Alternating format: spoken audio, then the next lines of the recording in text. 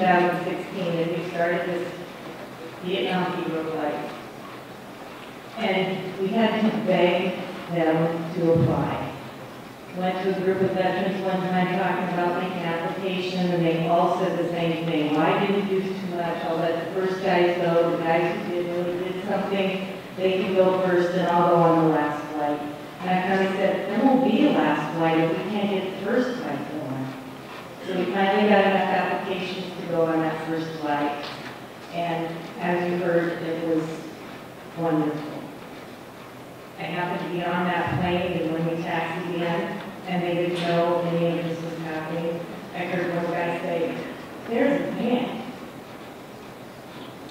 And every single time, now, now veterans know what's coming, you know, there's gonna be a homecoming. Um, but to see the 70 and 60, 70 year old men and their families on that plane overcome with emotion. They told one time, we even going to take you to Washington anymore, going to put you on a plane, fly you around for three hours, get everybody out to the airport and land.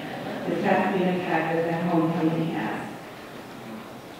I spoke with another Northwest alumni on this last trip, Brandon Kuchra, and I think he graduated maybe 2004, 2005.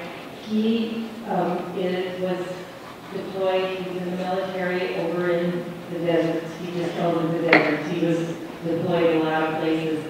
And he um, escorted his grandfather on his last trip, who was Vietnam. And Brandon and I, I were talking one night, and he said, you know, he said, Linda, it was so different for me. He said, my experience was so different. He said, I got care packages from people I didn't even know. I got letters from kids I didn't even know thanking me for the service. And he said, it was so different from my grandpa. He said, it's just worlds different. And I just looked at him and I said, how could we have gotten it so wrong? How did that happen in Vietnam that got so wrong? But our purpose is to heal and to let these guys move on.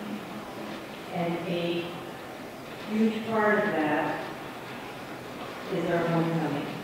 And it wouldn't be the same without the Northwest Band. And the call went out when we started this, Gary contacted every high school in Hall County, and the Northwest Band was the only one that answered the call.